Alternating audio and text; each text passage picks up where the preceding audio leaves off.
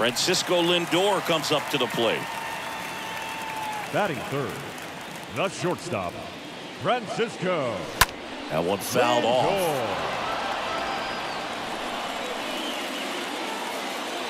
Left-hand batter waits. And a foul ball. Kicks and fires. Foul ball. Well, he hasn't gotten a result yet, but he's got to feel pretty confident. Three foul balls in a row. He's right on this guy. And a, This kid is so special. he's a shortstop by trade and big time power.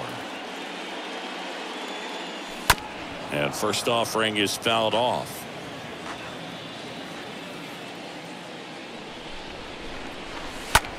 Hit hard on the ground to short.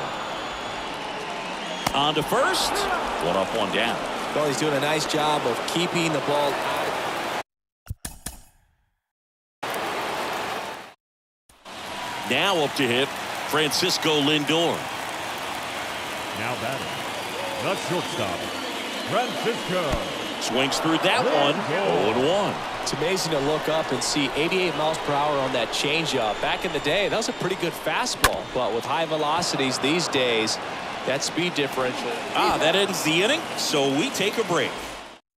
Singing, you can't ask for anything more. This guy checks all the boxes offensively. He is the ultimate professional, and it doesn't just start at game time. It starts in the afternoon, the way he prepares and gets ready for the ball game. I tell you what, his teammates feed off of the leadership that he shows on and off the field.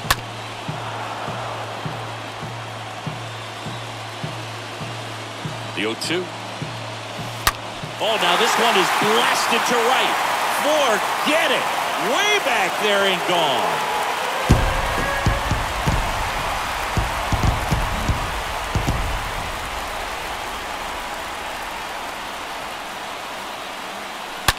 On the ground. And that's just foul. All right, Siggy, trivia time. Back when this ballpark opened, 1994, one future Hall of Famer hit the first triple in the park, and another hit the first homer by a Cleveland player. Think you know who they were? Okay, I know that Ken Griffey Jr. hit the first triple here.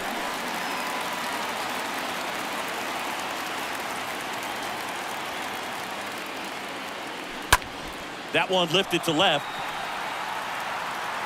That's down. One hops off the wall.